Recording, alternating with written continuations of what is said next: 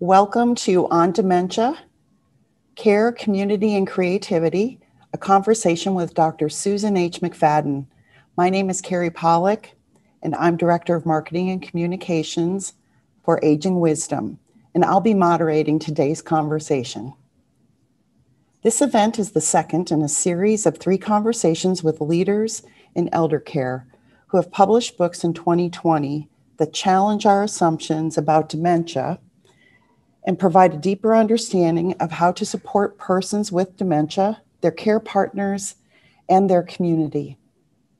Presented by the Frye Art Museum, the University of Washington Memory and Brain Wellness Center, and Aging Wisdom, the series honors the 10 year anniversary of the Frye Art Museum's Creative Aging Programs, which is also being celebrated with an exhibition at the Frye Art on the Mind.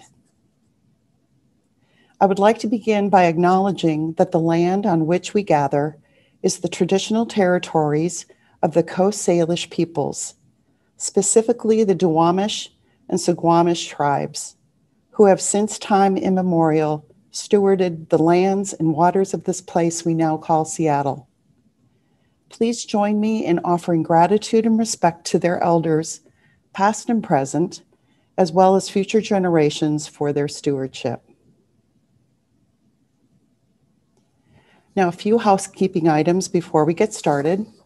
Today's event will last an hour. The first part will be a conversation with the author, interspersed with readings from her book, and we'll save the last 15 minutes for your questions.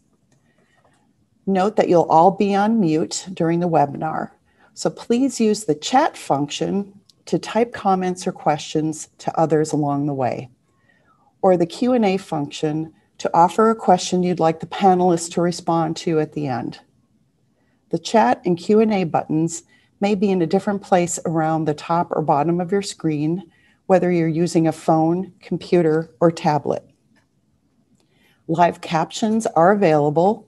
Simply choose the closed caption button and select whether you'd like to view them as a subtitle or a full transcript. Note that when this webinar, with this webinar format, only the panelists' faces are visible, so nobody else can see your image. We will be rec- recording this event for future viewing. So let's take a moment to see how each of us may be connected to the topic of dementia. You'll see a multiple choice question pop up on your screen. Please select your response.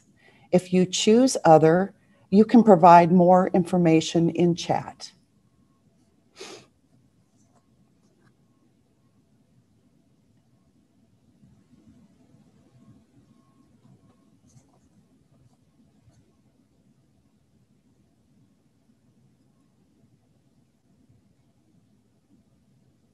I'll give it a couple more seconds. Thank you, everybody. Let me provide some context about the book we'll be exploring today Dementia Friendly Communities. Creating dementia friendly communities can give people with dementia the chance to continue meaningful lives with reciprocal personal relationships. Underpinning successful dementia friendly communities is an awareness of people with dementia as active citizens and the importance of supporting engagement in community life. Dementia Friendly Communities offers an overview of the Dementia Friendly Communities movement, showing the many benefits of this approach. It describes community initiatives from across the globe, such as Dementia Friends, memory cafes, creative engagement with the arts, through organizations like TimeSlips. This compassionate book tells another story about dementia, away from negative stereotypes this alternative approach claims people can retain a sense of dignity, hold on to hope, sustain meaningful relationships, and live with a sense of purpose with support from their communities. Now it's my great pleasure to welcome to the virtual stage Dr. Susan H. McFadden, an experienced teacher and researcher in the field of dementia. She was formerly professor of psychology at the University of Wisconsin Oshkosh and co founded the Fox Valley Memory Project, whose vision is to help create dementia friendly communities. You can learn more about the Memory Project at foxvalleymemoryproject.org, and you'll find the link in the chat. In addition to authoring Dementia Friendly Communities, Susan co authored with her husband, John McFadden, Aging Together Dementia, Friendship, and Flourishing Communities. Susan, it's great to have you here all the way from my childhood stomping grounds, the Fox River Valley of Wisconsin. So thank you for joining us. And here I am. Ta-da! Thank you, Keri. Yay! oh, I'm I'm just delighted to be here. Thank you so much. Thank you to everybody who has organized this program. I've seen a number of names I recognize of dear friends who have popped up on the chat. So, and uh, uh, people I don't know, just thank you all for being here today. It's yes. great. well, let's dive right in. So, tell us the story about your book, which I have marked up and highlighted. Oh, I just love it. Why did you write a book about dementia friendly communities? Well, uh, you mentioned Fox Valley Memory Project, mm-hmm. and I was a co founder of that uh, 10 years ago. At that time, I didn't really know the term dementia friendly community. So, in 10 years, so much has happened. Uh, but somehow uh, we uh, got together with uh, several other people in the community to say, what do we need in this community? Uh, particularly around issues of aging. And we identified immediately that we needed to pay attention to people living with some type of dementia. And so we set out to figure out how to do that. Uh, so um, somehow I talked my husband John into going to England in the summer of 2011 and driving 860 miles on the other side of the road uh, and all we did was visit memory cafes because I had never been to a memory cafe. There were very few of them in the US at that time, but England had a lot. And people were incredibly friendly and hospitable to us. Um, we saw no tourist attractions in England, but we saw a lot of church basements. Uh, and we learned a lot. And so we came back and I started looking at the literature out of England and I um, noticed some early publications that were filled with quotes from people living with dementia. And, and this organization had gone all around uh, big cities and small towns asking people with dementia what they wanted from their communities. And they said, we want to be able to go to the places we've always enjoyed going to, like the library and the post office and the and restaurants. But we want people to understand that we might be a little confused sometimes. And, and we want people to treat us with patience and not hostility. And um, th- this was just, uh, just opened my mind so much to read these quotes from people living with dementia.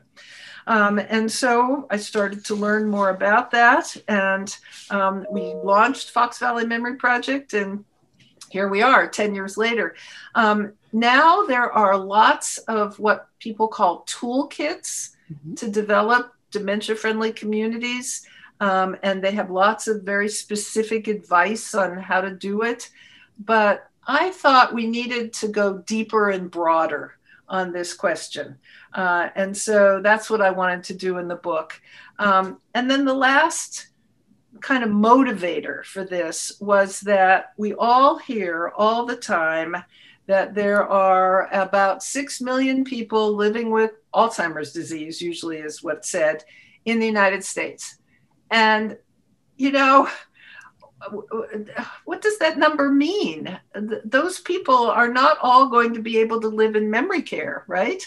Because it's so expensive and they, they just, what they can't do that. And so our communities have to figure out a way to step up. And that's another motivation for writing this book. How do we do this? So yeah. Well that's this will certainly it, it it's a great guidebook. And it's for all communities. And I think it because it um, you draw from so many different examples internationally. Um, everybody can kind of see themselves and the potential for their community no matter where they live, be it rural, urban, suburban. It's beautiful. I'm curious too how you got interested in dementia. Um, well, I've been teaching about aging. I like people have heard me say this. I've been teaching about aging since I was a brunette. Um, back in, I, I, started teaching about aging in the 1970s, the early 70s. And um, so I've always been interested in aging, but it was not until the 90s that I began to realize that in gerontology, we were separating people who had dementia from people who didn't. And, and so in gerontology, we were talking about successful aging and the well elderly. And, you know, it made it sound like people who had dementia had failed at aging somehow. Um, and, and I thought that was wrong, that we were splitting them off like that. And I was actually somebody who fell into that trap. Um, I had worked for about four years co editing a big fat book on religion, spirituality, and aging. And I just took it off the shelf the other day. It was published in 1995. There were in the index, there are only five pages out of 600 that mention Alzheimer's or some type of dementia. I mean, it was terrible. We were blind to this. Um, so then we um, did a second edition of this handbook uh, that came out in 2003. And I made sure we had two chapters devoted to dementia, various issues related to dementia, and plus other discussion about dementia throughout the book. So, you know, I did that too. I I was not paying en- enough attention. Um, a couple of other um, things that happened were that I uh, was able to go to, I think, the second meeting of the Pioneer Network. Oh, sure. Yeah. 40 people who gathered in Oshkosh, Wisconsin. Uh, and it was it was absolutely transformative experience for me. And the third reason that I got interested in dementia was meeting Anne Basting um, in 1996, who you'll be talking to next month. So, yeah, lots of things came together at the end of the 90s um, that put me on this pathway. Thank goodness. Thank you for that. Well, the, the way that dementia friendly communities, your book is um, laid out is just so smart. I just think it's very holistic, it's very inclusive, it, it's just very thoughtful. So thank you for that. And I just love the this approach to you know dementia friendly, dementia inclusive communities.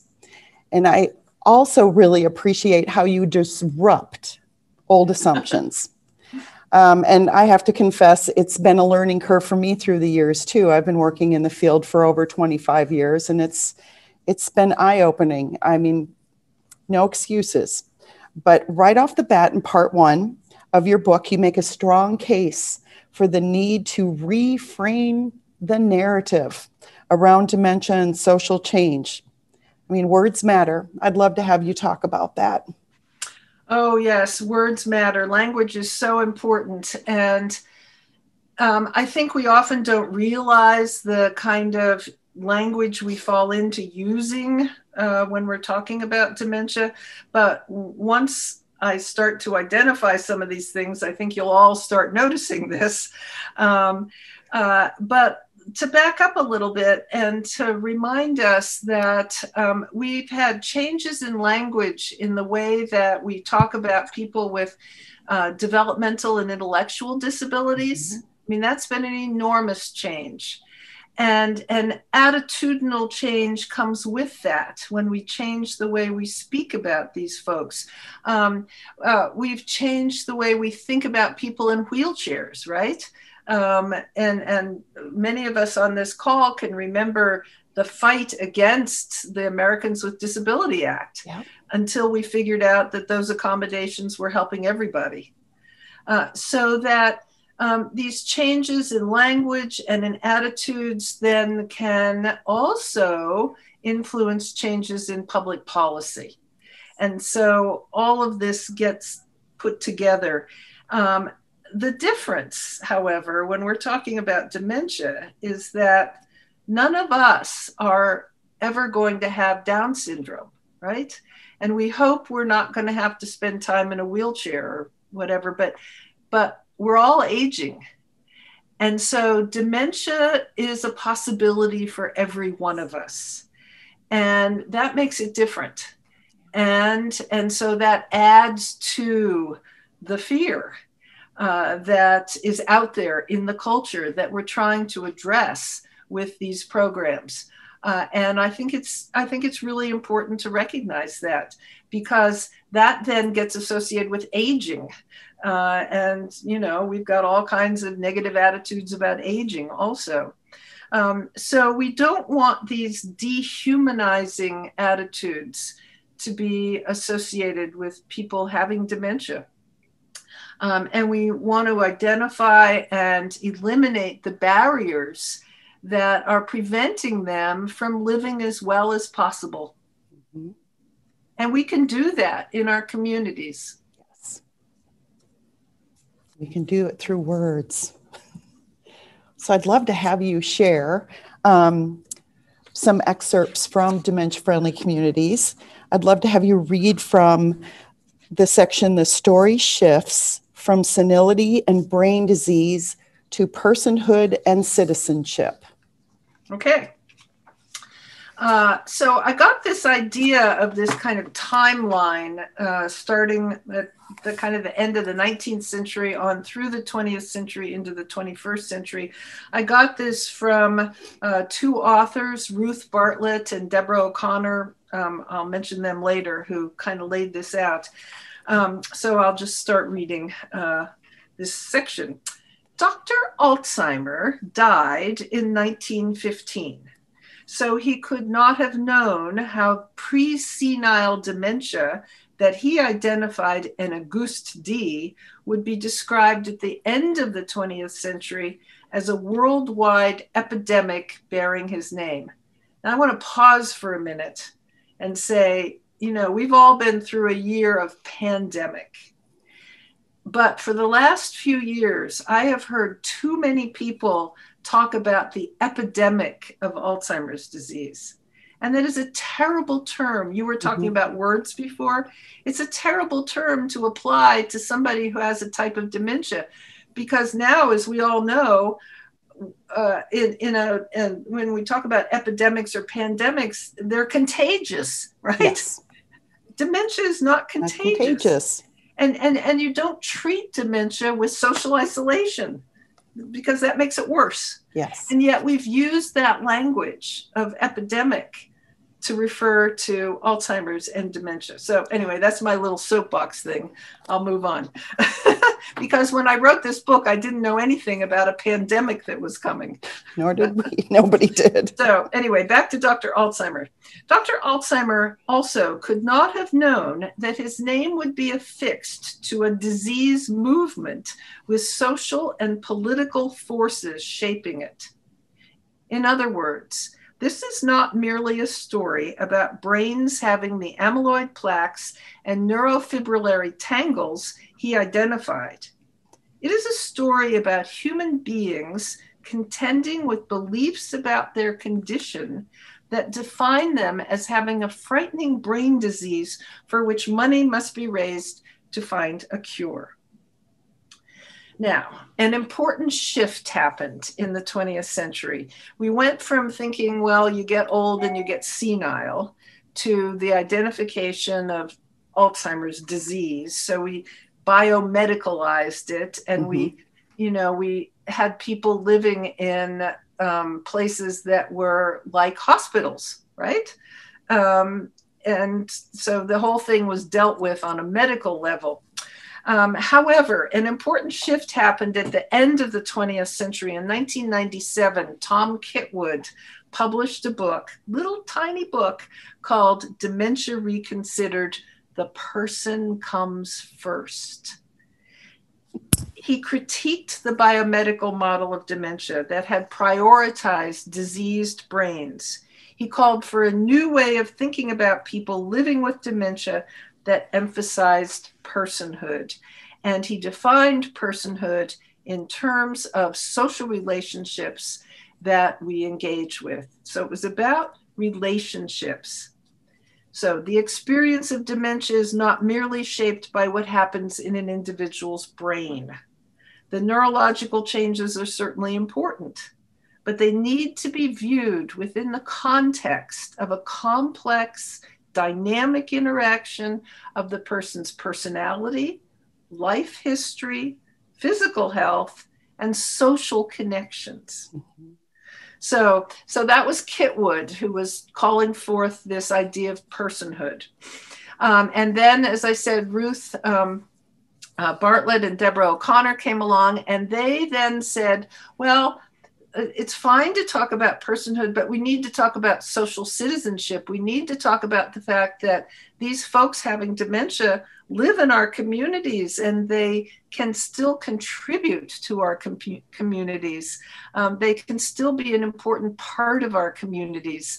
Um, and so they call that the fourth movement in this historical progression. Um, and, and, and associated with their work has been the work of a Canadian social scientist named Pia Kontos, who some of you know. Uh, and I love her work. And she writes about people who are living with um, uh, advanced dementia. And she talks about um, relationships that are communicated through what she calls embodied selfhood. In other words, we communicate our relationships through our bodies and through our the way we move and, mm-hmm. and our facial expressions. So I just have one more paragraph I want to read you. This one's very special to me because I knew this person. And um, by the way, any of these names I use are not anybody's real names, but okay. So consider this example. Sue has lived in a memory care community for several years as her dementia symptoms have become more severe. She can no longer control her body and balance enough to walk safely, so she uses a wheelchair that must be pushed by others. Staff who tend to her needs, including basic functions like eating, dressing, and using the bathroom, know her well. She rarely speaks and has trouble coordinating movement of her head. Nevertheless, Anyone carefully observing her interactions between Sue and staff can see that they share meaningful relationships. When brought to an activity, Sue raises her head just enough to look at the person who has transported her and flashes a brief smile. She lifts her right hand slightly in a wave of acknowledgement. When someone kneels by her wheelchair and grasps her hands, she squeezes them. In other words, Sue is, rela- is engaging with others. She is being relational through her body. And I do not want to leave people like Sue out of this discussion of dementia friendly communities. Yep. And all too often that happens because these care communities where folks like Sue live are a part of our community. Very true. And the challenge for us, if we're thinking about dementia friendly communities, is to figure out ways to include them. And um, you have a great, this gives me a great segue to talk about your program next month with Anne Basting, because she's going to be talking about how the arts can provide that bridge between these care communities and folks with advanced dementia and the communities outside the walls. Yes. And I just, I think that is so important. And, you know, I was interacting with Sue in her wheelchair by doing TimeSlips. Oh. So, yeah, it was, yeah, wonderful. We love TimeSlips. If yeah. folks don't know about TimeSlips, is a time it timeslips.org? Org. Is that yes. where you can go yeah, learn yeah, more yeah. about TimeSlips? Please, I encourage everybody here, if you're not familiar with the program, please. And then you'll learn more about it next month with, right. with Anne. Thank you for sharing all that. That just beautiful that flow and and and thank you for reminding us. Um, I see that a lot in our practice too. Is just that slowing down, being observational, being in the moment. Um, we just don't do that typically as a society, but there's just that's where the magic happens. Mm-hmm. Thank you. Well, let's talk about that. Let's talk about being relational. And, you know, that social model of dementia and just the social relational citizenship. You know, this seems to be a foundation and a, an essence of your of your book and of being a truly dementia friendly and inclusive community. So, would you talk a little bit about that, please? Sure. Um, so, um, as I say, um, we can start with our language and and think about the attitudes that we all have. Like i told you i edited that big fat book with five pages that talked about dementia. I mean it's terrible. Um, so we really need to be a little self-critical about this too. Um, and um, here's an example um, of uh, something that I encounter all the time in terms of how people living with dementia are referred to. Um, and this example comes from a document, and I think you're going to put this in the uh, chat, the connection. Um, it came from the uh, Dementia Action Alliance, mm-hmm. and um, it's uh, called uh, Living Fully with Dementia Words Matter. Yep. It refuted what we all learned as children that although sticks and stones can harm us, names cannot, but they can. Yep. They can shape how people with dementia are treated, consequently affecting how they think and feel about themselves. So, this is an example from this document uh, from a man named Michael Ellenbogen who was diagnosed at age 49, but he started to have symptoms at age 39. And this is what he said he said, I do not like the term patient unless I am in a hospital or medical setting. If I hear this word used to refer to me in other settings, it weakens me, and I worry I will start acting like a patient and need someone to do even more for me. Now, think of all the times in newspapers and magazines and, you know, people talk about dementia patients and they're not in a doctor's office. exactly. Right? Aww. And here's Michael Ellenbogen saying, This hurts me. This limits me. This um, uh, this excludes me. Yeah. So, um, so it, it's a way to think about how we are um, interacting in community. Yes. Thank you for that. And I believe that um, Caroline is going to put that in the chat, the link to um, the Living Fully with Dementia Words Matter from the Dementia Action Alliance, which you just read from. So thank you so much for that and, and including Michael's quote. That's really powerful. Now, in chapter five, which is dementia advocacy and activism, which Michael, you know, Michael's quote is a perfect example of that. I love it. You encourage those who are diagnosed and their care partners to speak up for themselves. So, may we explore uh, that section, Human Rights and Dementia? Yeah. And uh, I'd love you to read from a section of that. And let's just learn about why hearing from the person living with dementia is so essential.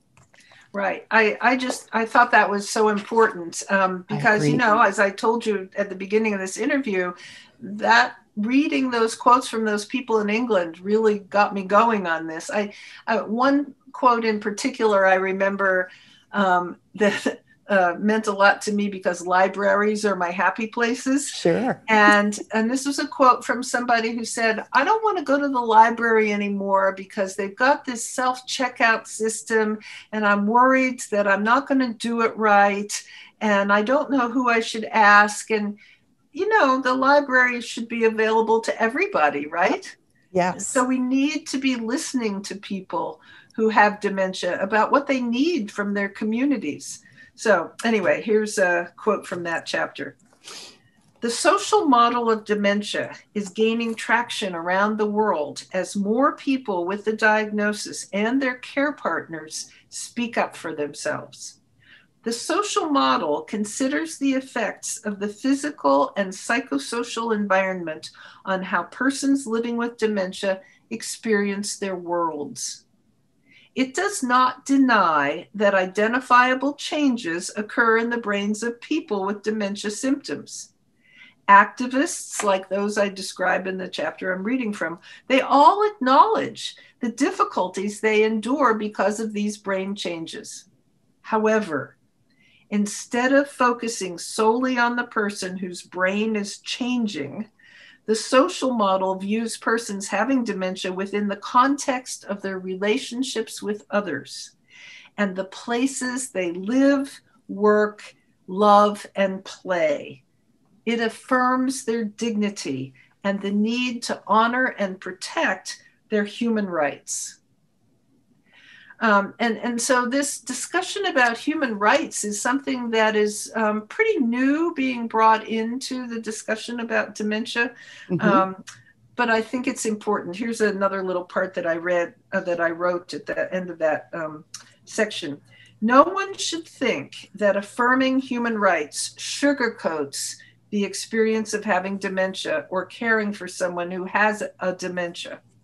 Nor should anyone think that striving to create dementia friendly communities is a simple matter of getting some interested people together to start a memory cafe. This work is hard. Yep. People who do not want to pay for needed programs and services will resist these efforts.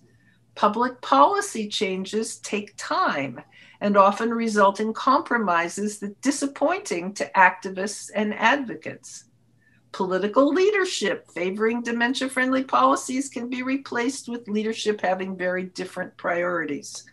Nevertheless, despite challenges like this, people all over the world are working to promote quality of life, change the culture that excludes and stigmatizes people with dementia, and offer an array of options to support the social citizenship and human rights of people living with this progressive condition. Thank you. Ooh, I, I just got to tell folks this, Susan, your book, and, and I've said this too many times, it is just so rich with information and um, and it's just so honest that's the other thing I love about your book. Uh, it gets real. It gets real. Susan, also as a uh, professor and a researcher, and and me as a researcher, I love just having access to information, and so every chapter has is just filled with end notes. I mean, this is just this is the most incredible guidebook. Okay, a fangirl. Okay, fangirl here let's see. Thank you for that. Um, why should let's just talk real quickly though about why it why is it essential to listen to the person who is living with dementia? Why is it important for them to guide these conversations to, you know, for why is it essential for them their voice to be heard? Well, I'll go to the title of the book, Dementia Friendly Communities. Um, mm-hmm. I, am terrible at writing titles because, you know, I'm so academic. They're all, my titles are always so boring. Uh, but um, it, it should have had a longer title because it should have been Dementia Friendly and Inclusive Communities. Because I think it's possible to be friendly in a kind of paternalistic way, oh, right? Yes. Mm-hmm. I'll be friendly with you, but I don't really need your friendship with me, right? Yep. Or uh, I'll do nice things for you, but I don't need to really listen to you. And so that term inclusive is so important. And um, and, and, and, and we need to listen to what they have to say about what they want from their communities uh, and, and often what they say they want from their communities is what everybody wants mm-hmm. from their community. And that and that then takes the barriers away. Yeah. That's wonderful. Thank you for emphasizing that. Well, you dedicate an entire part, one of five, of your book to friendship and community inclusion. And I'd like to talk about the role and the importance of friendships. Words matter, friends matter.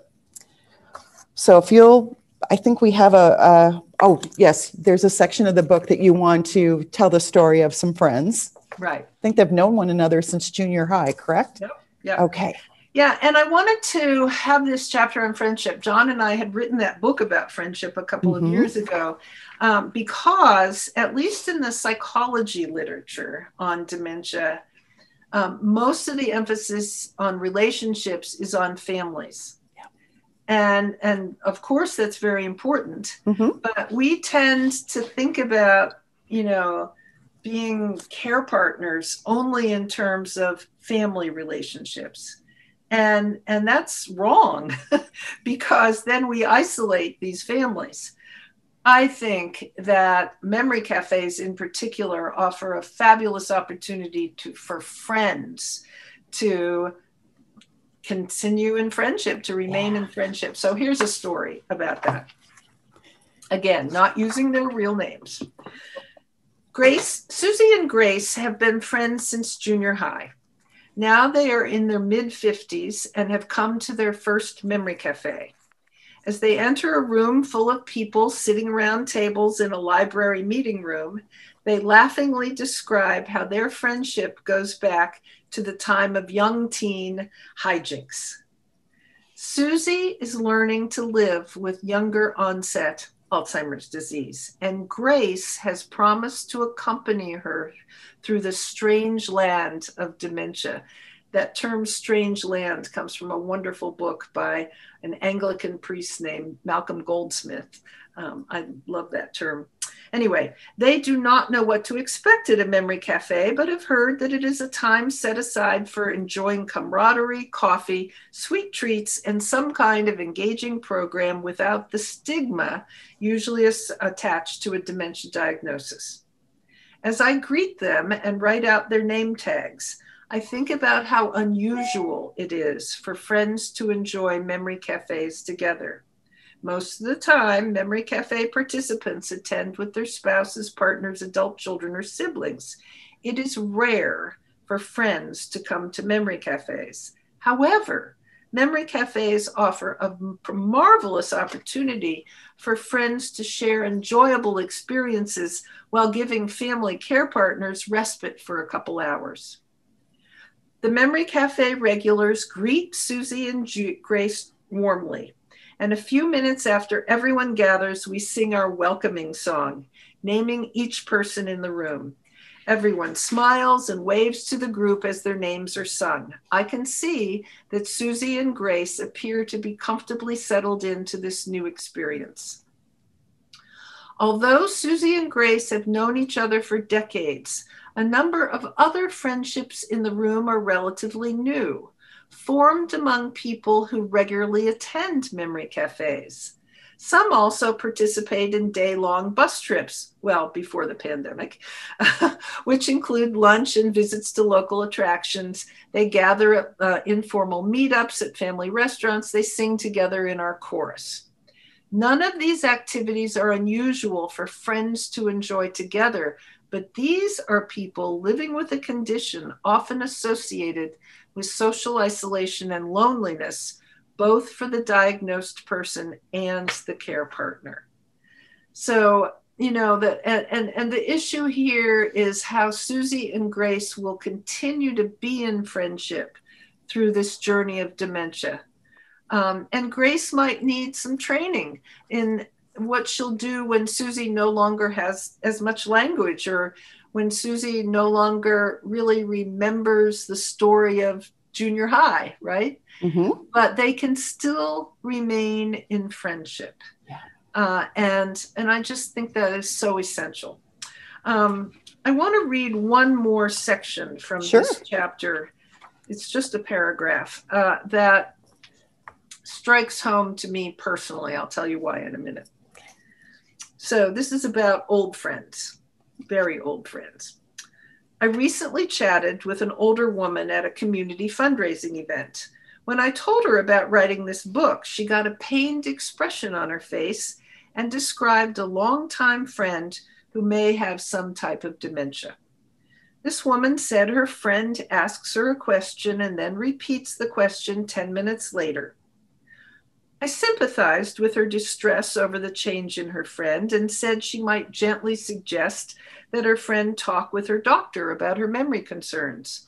I also said that if the friend eventually does receive a dementia diagnosis, then it will be critically important for her to promise to accompany her friend, regardless of where the dementia journey takes her. The woman looked troubled by what I said, so I didn't press to say more. Given the social setting where this conversation took place, I did not have the opportunity to pursue the conversation. If I had, I would have talked about how people can learn new and meaningful ways to remain close to their friends living with dementia. And the reason why this uh, strikes home to me in a painful way is that I saw this happen to my mother.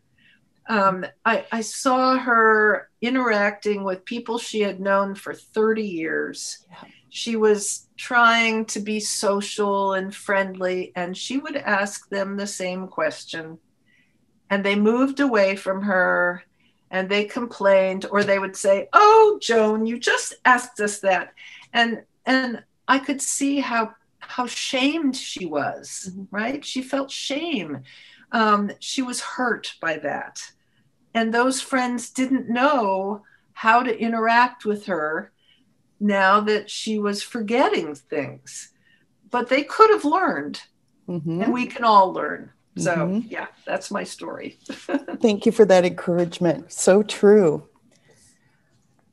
We're going to wrap up a little here, coming to our, our last question. And I just want to remind people we're going to have time for Q&A at the end. So please, as you're listening to us, if there's any burning question you have, we're going to do our best to get to you. So I love that in your book you do present a very fact-based rather than fear-based perspective and a very honest one. Um, and on page 139, you say reimagining community in light of increasing numbers of person ha- persons having dementia will require changes in attitudes, language, policies, and practices. And the last paragraph of Dementia Friendly Communities encourages the reader with these words Someday, even without cures for all the types of dementia, the practice and policies of dementia friendliness and dementia inclusivity may be intimately woven into the whole life of our communities. The ideal would be to embrace ways of living together in community that are friendly toward and inclusive of all persons. Making communities good for people living with dementia can make them good for everyone.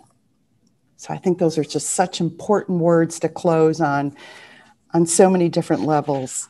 So in closing, and before we go to the Q&A, do you have a just a, a thought or an encouragement for us to perhaps strengthen, you know, existing dementia-friendly, dementia-inclusive communities or um, I'm sure there are plenty of people joining us today who are here because they see a need for it in their community. What, what's your encouragement for them? other than buying your book. So I, I'm sorry, I got to push it. I got to hawk it. Got to buy Thank the book. You. um, you know, I think we need to start with the difficult work of acknowledging our own vulnerabilities, our own fears about dementia. We need to critically examine our own assumptions, our own language, our own attitudes, not just about dementia, but about aging, aging in general. Yeah.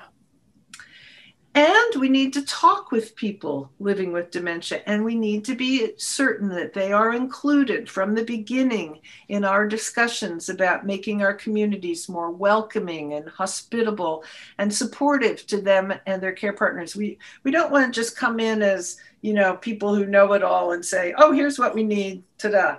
Uh, no, we need to listen um, we need to know what they want from their communities and also to get back to a point I made earlier. As we drive past, which I'm sure most of us do every day, all those care communities that are popping up in our neighborhoods, We need to think about the human beings who live and work there. And, and we need to figure out ways to build bridges across what I sometimes call the invisible moats that surround mm-hmm. them. Yes. And and think about how those buildings and those people inside those buildings are a part of our community. Very true. And and and so Fox Valley Memory Project, I'll just put in a last plug for Fox Valley Memory Project. We talk about how we are going to be with people from the time they are first worried about their memory and ability mm-hmm. to think and make decisions on through to the end. So if they have to relocate to memory care, we'll still be with them. And we have programs that connect to people in memory care. And one of the really important things that I have learned is that um, even after a loved one has died, the, the person remaining, the widow, the widower, they stay connected to us because they have become our friends. Yes. Right? Yes. And that is a beautiful thing that I only learned by doing this work. Yeah. So I, I, wish everybody well in doing it. It's a source of tremendous joy and meaning. Definitely. Yep. And strengthening community for everybody. So now we have had a chance to thank you, Susan. I'm sorry. You're welcome. So now, now that we've had a chance um, to open it up for questions through the Q&A, and again, you can type your questions there. Um, our time is limited. We'll get to as many as we can. So let's see what we got here. Um, some have already been answered. Uh,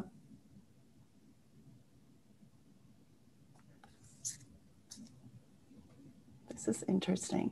Is there a better word than dementia, which doesn't convey the spectrum, as in, you know, like the autism spectrum? Um, well, people are starting to talk about, um, uh, you know, Alzheimer diseases, not just one Alzheimer disease, but diseases. Um, the word dementia is uh, perhaps going to go away uh, in the next five years uh, to be replaced by neurocognitive disorder, uh, okay. according to the DSM 5. Yes. um, and that it was interesting in the diagnostic and statistical manual the fifth edition that came out there's a big fight that went on about how to do the chapter on dementia and what they said in it was that they were going to keep the word dementia because older people were used to using that word but with younger people now being diagnosed with some type of dementia they didn't like that word so much and so mm-hmm.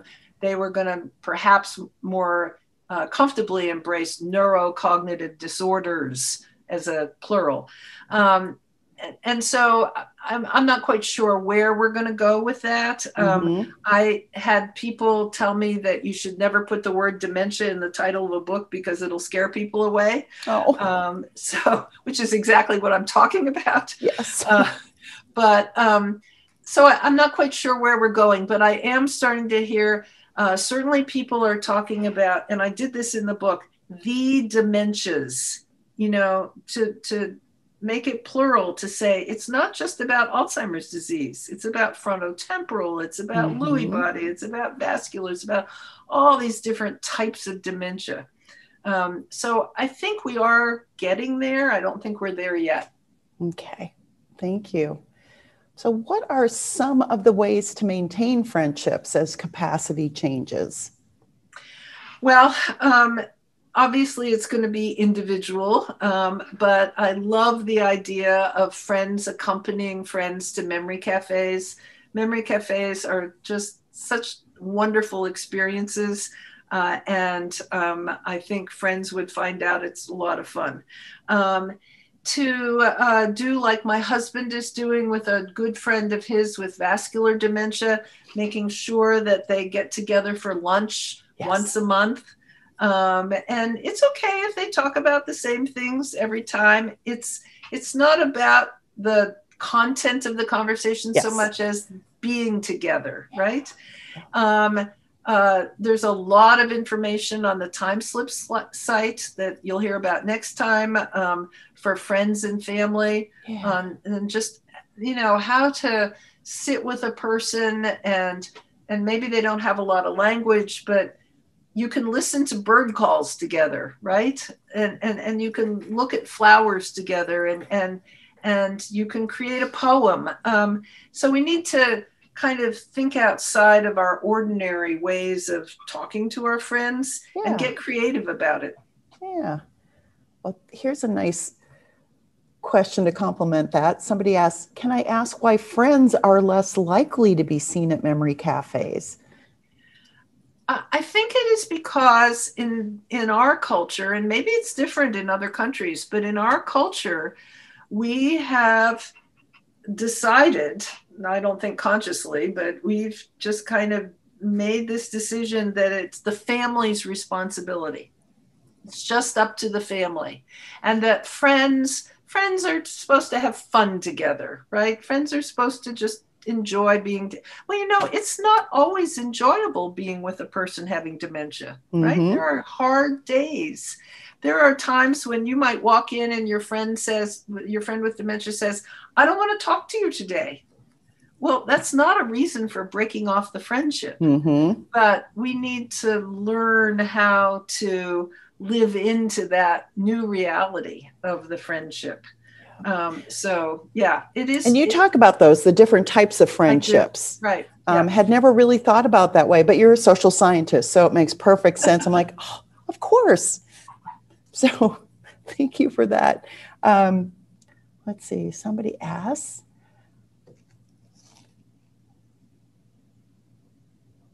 What? Oh, where are there dementia successful communities in the United States?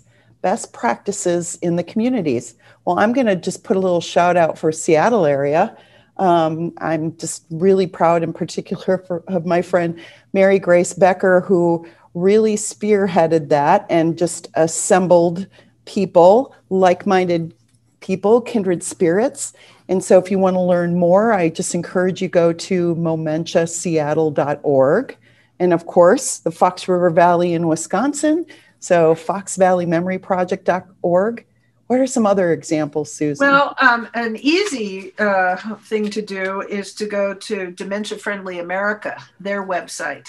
Um, now, Dementia Friendly America, um, I had the great privilege of um, uh, being present for the launch of the precursor uh, to Dementia Friendly America, which started in Minnesota.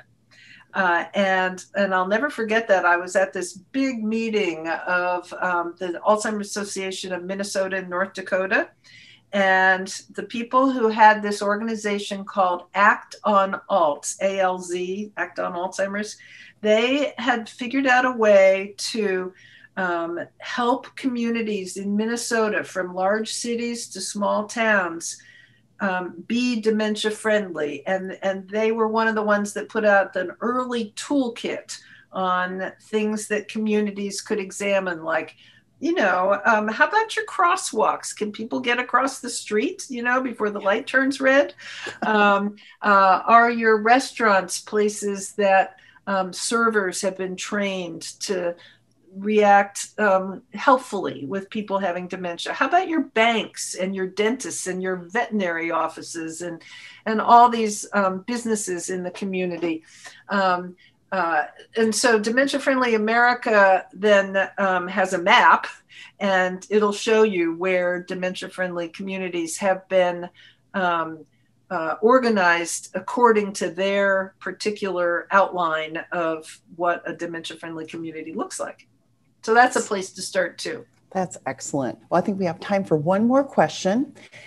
And this is this is wonderful. The great question here is the assisted living facility my aunt has just entered seems pretty amazing in terms of being a community, but my aunt has always preferred to be alone with her cat. Should we be pushing her to join the activities? I know that that's a very common question for families. I know. And friends. Uh, of course. And um, it's very, um, uh, it, it, strikes home to me also. Um, uh, and it reminds me of a poem that I included in that big book that only had six pages on people having dementia. Um, but this poem was um, something, it was directed to the activities director, and it says, you know, dear activities director, please, I don't really want to come join the activity. I just want to sit here today and remember picking berries with my husband. You know, so some of us need more time by ourselves and and and so we need to recognize when that is supporting their mental health mm-hmm. And when the isolation the withdrawal from activities and from other people might be indicating depression oh, because yes. depression can be treated and it should be treated um, so it's really about the person, about the individual, and we need to pay attention to that. And honor and respect that. Yeah. Thank you. Well, I'm sorry we weren't able to cover everyone's questions. There are so many other good ones, so we can maybe do that offline possibly. Thank you, everybody. Much appreciated. Well, I just want to thank you again, Susan. This conversation has just, as always, been very enriching. I thank you. Um, I want to thank uh, our presenters, the Frye Art Museum, the University of Washington Memory and Brain Wellness Center, and my employer, Aging Wisdom. And thank you to everybody for attending today.